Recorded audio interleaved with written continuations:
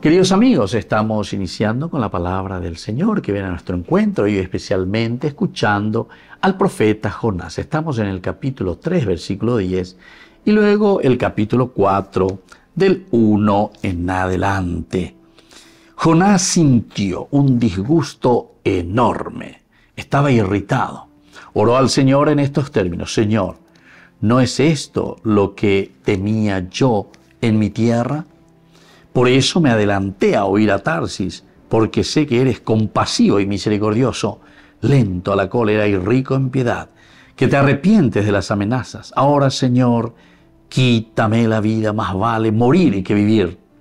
Respondióle el Señor, ¿y tienes tu derecho a irritarte?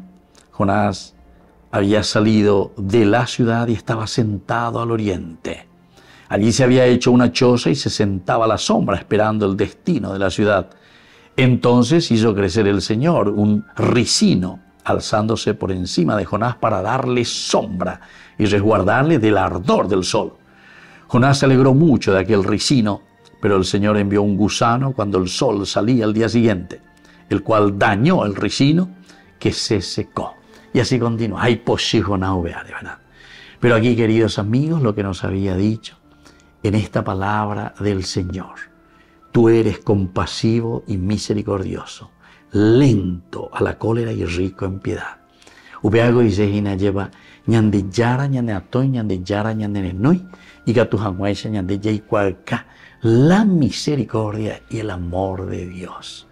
Dios perdona a su pueblo, Dios perdona al pecador, pero tiene que haber un arrepentimiento. Aupeago la ñande en el capítulo 3 anterior, ¿verdad? Hasta el rey dice se vistió de sayala. Pero ¿dónde está el problema? Que muchas veces nosotros no somos misericordiosos, nosotros no queremos perdonar a nuestros hermanos. Queridos amigos, pidamos esta gracia de la misericordia, del amor.